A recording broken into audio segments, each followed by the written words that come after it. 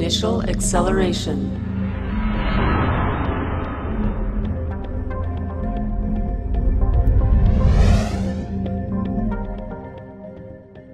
Speeding up any object involves converting the potential energy of its position into the kinetic energy of its motion. In this lesson, we'll study how electric fields are used to accelerate the hydrogen minus ion. But first, let's study another field, gravity.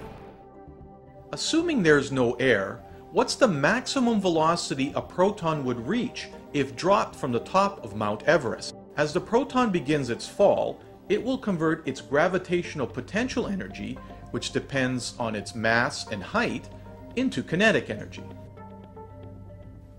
Using these values and the known value for gravity, we can calculate the gravitational potential energy. Equating the initial potential energy with the final kinetic energy, we can determine the proton's velocity.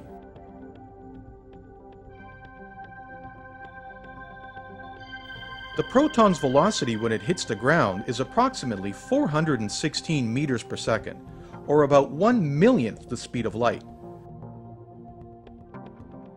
And this is nowhere near fast enough to shatter atomic nuclei. What we've just discovered is that gravity is simply not strong enough for our purposes, and we cannot make gravity stronger. However, we can make very strong electric fields. In an electric field, voltage difference in charge replaces the height difference in mass in a gravitational field. At the ion source, the ions are given a boost by an electrical potential difference of 300,000 volts to send them on their way to the cyclotron.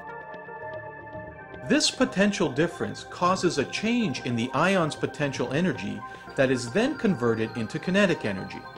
So, Let's calculate their velocity as they leave the ion source.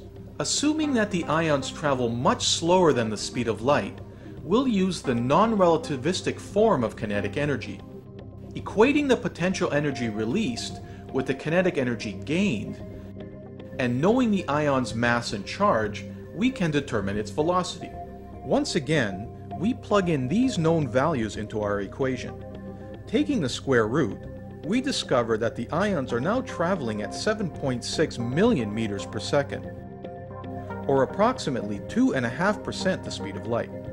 This is fast, but still slow enough so relativity does not come into play.